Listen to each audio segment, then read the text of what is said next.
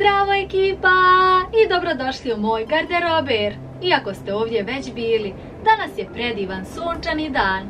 Zapravo ekipa vani lije kiša, tako da nisam znala šta da radim, pa sam se zavukla ovdje jer vam još nikad nisam pokazala šta se nalazi u ovoj ladici, a sjećate se da sam obećala. U ovom ovdje bloku nalazi se moji crteži, ali njih ste uglavnom sve već vidjeli, ali u ovoj vrećici ovdje nalaze se svi vaši crteži koje sam dobila na razne načine. Filip i ja smo selili stotinu puta, također smo mnogo putovali, ali nekim čudom ovi crteži su ipak završili kod nas.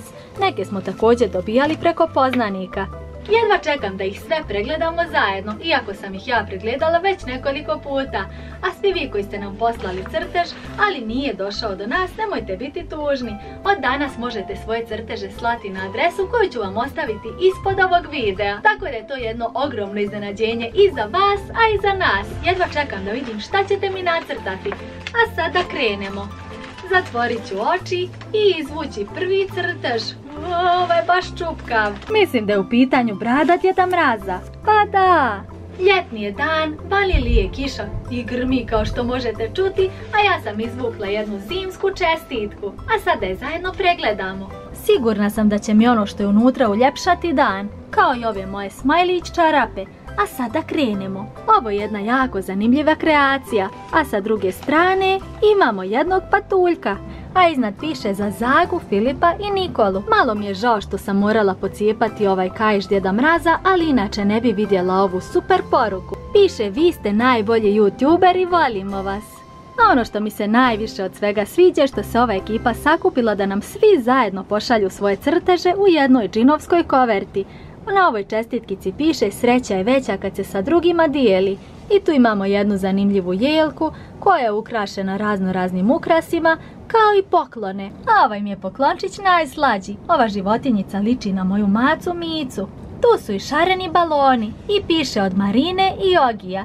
Ekipa, baš vam hvala. Tu je jedan zeko u plavoj haljenici, a sa druge strane banana i sladoled. Već znam šta je namijenjeno meni. To je sigurno banana. Baš je interesantno čitati novogodišnje čestitke u poljeta. A iza je slatki trolić. I to Popi, moj omiljeni. A za Popi se zalijepila jedna slatka jelka. Ukrašena je zvijezdicama i cvjetićima. A šalje nam je ekipa iz Doboja. A još jedno iznenađenje što se i ova čestitka otvara. Tako da ovdje imamo još mnogo crteža. Najslađi mi je ovaj šareni jednorog. Sve crteže je nacrtala Jovana. A evo i najzdravije čestitke od svih. Na njoj piše zdravo se hranimo i nacrtane su razne voćkice i povrćkice. Moram ovo pokazati Nikoli. Iako ovdje piše Zagina omiljena voćka je banana, moram priznati da ih Nikola voli više od mene. Svako jutro pojede jednu bananu. A ovo je nacrtala Violeta koja kaže moje omiljeno povrće je luk. To mi je toliko simpatično, još nikad nisam čula da neko kaže da mu je luk omiljena povrćka. A i Filip ja mnogo volim moj crni i bijeli luk. A sad idemo dalje. Kogod da je ovo napisao mora da je jako uredan. Pogledajte kako su ova slova zanimljivo obojana. Nigdje niste prešli ekipa, da li je moguće? Sve što ste do sad vidjeli nalazilo se u ovoj džinovskoj koverti. Baš mi je drago što ste tako složni. A sve to nam je poslala ekipa iz osnovne škole Milan Rakić. I njihova učiteljica Tanja. Baš vam hvala. A sad idemo dalje. I htjela sam reći nema veze što je ovo čestitka za 2021. godinu. Uvijek ih mogu čitati iznova. Lijepe želje i željice nemaju rok trajanja. A pogledajte ovo, koliko je sladak ovaj žuti jednorog. Sjećam se da je Filip za ovaj crtež rekao da ga podsjeća na žuto pile, a tu je i Minnie Mouse, samo što se autor ili autorica crteža nije potpisala. A da vidimo šta se ovdje nalazi. Wow, kolika je ovo čestitka. To su pas i maca okrenuti leđima. On se zove Max, a maca je Kitty. Što im i piše na ogrlicama? A ako pogledate udesno vidjet ćete jedno zanimljivo stablo jabuke. Zanimljivo je po tome što je četvrtastog oblika, kao i plodovi jabuke, a isto tako i ovo sunce u ćošku. Nikad nisam voljela crtati u kockaste sveske, ali kad vidim kako je Dimitrina ovo nacrtala, mislim da ću pokušati rekreirati njen crtež. A ispod ovog crteža krije se još jedan. Kipa, mislim da će mi krov pasti na glavu. Idem vani da vidim šta se dešava. Pa ovo izgleda pada led, a ne samo kiša. I upravo mi ulazi u sobu. Moram zatvoriti prozor. O, koliko je hladno. Mislim da je bolje da ostatak dana provedemo ovdje i da uživam u vašim crtežima. Ovo je jedan od najzanimljivijih crteža koje sam vidjela, a nacrtala ga je Hristina. Prvo sam mislila da je ovo sunce, a onda da je ovo sunce i shvatila da ja uvijek crtam dva sunca na crtežu, a evo i trećeg i četvrtog. A najviše mi se sviđa ova plava rijeka koja protiče kroz crtež. Mada ko zna o čemu je Hristina razmišljala kad je crtala jer svi mi crteže tumačimo na drugačiji način, zar ne? Možda ovo uopšte nije rijeka, a ovo nisu sunca, nego jednostavno zanimljive šare koje se predivno uklapaju jedna sa drugom. A sad idemo dalje, vidimo ovdje jedan rozi papir. O, koliko je slatko! Ovo mora da je čestitka pravljena za Vaskrs, zato što ovdje vidim jedno gliterasto zeleno jaje, zeke, peke, a evo i pompomsa. A da vidimo šta je na ovoj sličici. Pošto mnogo volim da se ljuljam, ja ću biti ovaj zeko. A ovdje vidim i rukopis Filipove mame. Piše Filip, Zaga i Nikola. Uvijek kad nam napravi neke kekse, ubaci svoju porukicu unutra.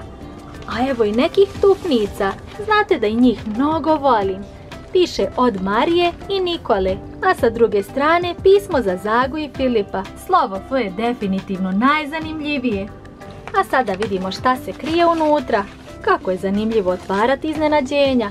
Pa ovo je neki strašni dinosaurus. A lijevo od njega stoji ptičica na drvetu koja bezbrižno pjevuši. Izgleda da se uopšte nije uplašila. A možda je ovo super junak Filip koji je došao da spasi sve životinje. A pogledajte ovu kreaciju. Izgleda da volite životinjice baš kao i Filip i ja. Koliko je samo vremena bilo potrebno da se sve ovo oboji. I ja još uvijek svom suncu i oblačiću volim docrtati osmijeh. A ova slika je oslikana vodenim bojama. I to tehnikom koju mnogo volim, a to je prskanje četkicom po papiru. Tako su nastale ove slatke kapljice. Ovaj Deda Mraz ima predivne plave oči. A evo još jednog crteža na kojem jednorozi ispaljuju konfete. Pogodite koga je nacrtao. Neke crteže vam moram pokazati ovako jer ne znam kako drugačije da ih pohvatam. Ima ih milion. Da li prepoznajete koji je pravi stiker, a koji napravljeni? I najveselija planeta Zemlja. Evo još jednog jednoroga kojeg sam oslikavala na svojoj majici. A evo još jednog pink. Pretpostavljam da je ova krofnica za Filipa, i pa dali smo ovo nas dvoje. A pogledajte kako mi je duga kosica. Tu su također i neke poruke koje su samo meni namijenjene, tako da vam ih ne želim pročitati. Neka to bude tajna. Pokazat ću vam samo neke crteže i to koje nasumično izaberim. Zato što ih ima jako puno, mada su mi svi podjednako dragi. A sad biram ovaj. Na ovom crtežu je Filip koji je okružen slatkišima, a pogledajte kako je Aleksej nacrtao mene. Okružena sam srculencima, na glavi imam cvjetić, a pored mene nalazi se mačak koji izgleda želi da me pozove na žurku. A odmah pored nalazi se još jedan crtež na kome krofna ispaljuje konfete, jer ova krofna je zapravo Filip, a krofna u ruci čak drži i sladoled. Koliko je ovo samo kreativno, kako vam samo padnu na pamet ovakve ideje, a pogledajte jednoroga Zagu koji jede bananu. Ispod je i naša mačka Mica, a evo i sve potrebno za slime. Sve ovo je nacrtala Petra, a ovdje se nalazi stativ i kamerica. A ova poruka kaže pročitaj, prije nego što počnete otvarati poklone pokušajte pogoditi šta se krije u njima. Koliko zanimljivo. Možda su ružno zapakovani, ali unutra je nešto super, zabavite se. Ove poklončiće i porukice su nam ostavljale Jelena, Anastasija i Nađa, koje su živjele u blizini nas. A pogledajte ovaj skviš i mačkicu. Njega mi je poklonila moja prijateljica Elena, a još uvijek ga nisam rekreirala, tako da ću u skorije vrijeme praviti papirnate skvišije. A ovo je neka magična koverta u kojoj se krije nešto što je napravila Ema. Sad ćemo vidjeti šta. Tu je jedna djevojčica obojena fluorescentnim markerom a pogledajte kako je ovdje predivno. Kod nas trenutno baš i nije ovako sunčano. A mnogo su mi slatki crteži na kojima piše oboji me, tako da ću morati uzeti flomastere i obojati sve ove crteže. A evo jednog crteža koji je toliko fenomenalan da naprosto ne mogu vjerovati. To je Irvas kog sam crtala u jednom od videa. Katarina definitivno zna kako bojati sa drvenim bojicama, pa pogledajte samo ovu njuškicu. Izgleda kao 3D, kao da će ova Irva svakog trenutka izaći iz crteža. Ali vjerujte, podjednako su mi dragi svi crteži i nemojte se naljutiti ako neki preskočim. A evo i mene u mojoj omiljenoj haljinici. A Mila mi je čak splela pletenicu i nacrtala eyeliner. I napisala volim te Zaga. O baš ste slatki. A pogađate li čiji su ovo crteži? I na njima je pisalo oboji, ali bila sam vrijedna i obojila sam ih. Ovo mi je nacrtala Angelina. A evo još jednog jednoroga koji ima tako zanimljiv repić. A pogledajte kako me neko nacrtao ovdje. Izgledam kao Zeko Peko. A evo i pisma koji nam je napisala jedna mama koja ima predivan rukopis. Čestita nam što smo dobili Nikolu, a od njene dječice smo dobili sve ove zanimljive crteže. Srce sa pom-pomsima, naš logo sa smajlićima i jednorog sa šarenom grivicom. A vidi se da znate da me Filip zove Vjeverica. Ovdje sam dobila jednu čestitkicu na kojoj sam vjeverac sa svojim društvom. I to za rođendan od Katje i Simona. A imam istu ovakvu facu kad dobijem poklon ili čestitku i crtež od vas. A izgleda da nije bio rođendan samo meni, nego i ovom plavom slonu kojeg je nacrtala Nađa Slović. A toliko je sladak da ću se naprosto istopiti. A da li se sjećate ove čestitke? Trebalo bi da se sjećate jer sam je dobila od vas. Sjećate li se videa u kom Filip priređuje iznenađenje za rođendan? I to zajedno sa vama, tako da je ovdje napisao volimo te Filip i ekipa. A i ova poruka mi je baš draga. Dobila sam je od jedne mame Tine. A tu je jedan stiker jednoroga koji je toliko čvrst zato što je napravljen od kartona. A evo još šarenih cvjetića, a mislim da smo ovo Filip, Nikola i ja. A od svih jednoroga koje smo danas vidjeli, mislim da su ova dva najluckastija. Pogledajte koliko ovaj skočio da mu se sva grivica podigla. Tu je jedno srce sa gliterima, a pogledajte kako je Angelina doživjela naše vjenčanje. Ovo mi je draže od svake fotografije koja je nastala taj dan. Ja u ruci čak držim i buket ruža. A evo jednog štafelaja na kome je nacrtala srce. A da li se neko sjeća ovog crteža? Star je sigurno preko 10 godina. A zašto ga čuvam? Zato što sam ovaj crtež bila bacila u smeće. Zato što nikad nisam bila zadovoljna sobom i svojim radovima. Uvijek sam mislila da može bolje i umjesto da ga sačuvam i gledam kako napredujem vremenom, ja sam odlučila baciti ga u smeće. Ali sreća imala sam Filipa koji ga izvukao iz smeća i spasio. Tako da ovog djeda mraza Irva se čuvam kao podsjetnik da nikad ne treba bacati svoje radove, a također nikad se ne treba ni porediti sa drugima. Pogledajte koliko je ovih crteža, a svi su slatki, svi su posebni na svoj način. A isto tako nemojte očekivati ako mislite da ne znate crtati, da ćete naučiti preko noći. Potrebni su sati i sati, dani i dani, nekad i godine i godine truda i rada i crtanja, da biste na kraju dobili nešto onako kako ste vi zamišljali. Tako da je najbitnije da ne odustanete. A da bi potvrdila sve ovo što sam vam sad rekla, sad ću vam pokazati neke od svojih crteža da vidite kako sam ja crtala kad sam bila mala. Mada ste ovaj rokovnik sigurno već vidjeli. Evo, otvorit ću bilo koju sličicu i da vidimo koja će to biti. Taran, taran. Evo tu jedno stablo jabuke. Mada moje jabučice više liče na urme, a najviše sam voljela crtati svoju ruku. Pa pogledajte koliko mi je ruka sad veća nego što je bila ranije.